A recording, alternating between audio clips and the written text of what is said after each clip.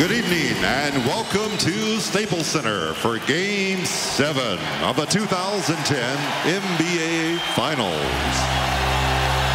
Featuring the Boston Celtics and the defending NBA champions, your Los Angeles Lakers.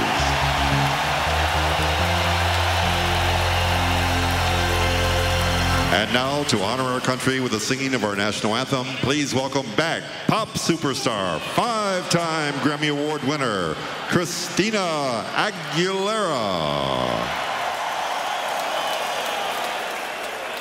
Oh, say, can you see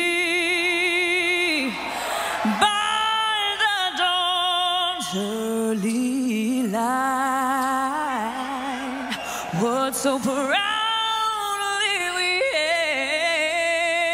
hailed at the twilight's last gleaming, whose broad stripes and bright stars through the perilous fight.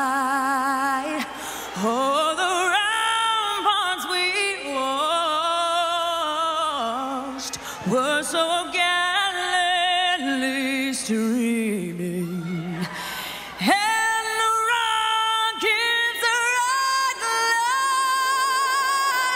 the bombs bursting in air gave proof through the night that our flag was still there.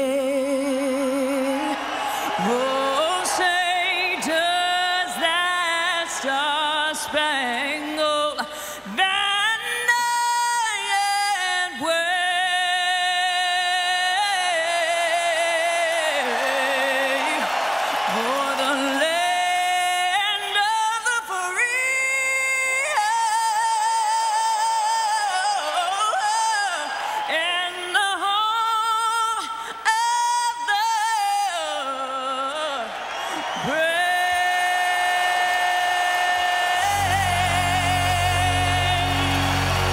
Christina Aguilera. And now let's meet the starting lineups. First, for the Eastern Conference champions, the Boston Celtics. At center from North Carolina, number 30, Rasheed Wallace. At guard from Kentucky, number 9, Rajon Rondo. At guard from Connecticut, number 20, Ray Allen. At forward from Farragut Academy High School, number 5, Kevin Garnett.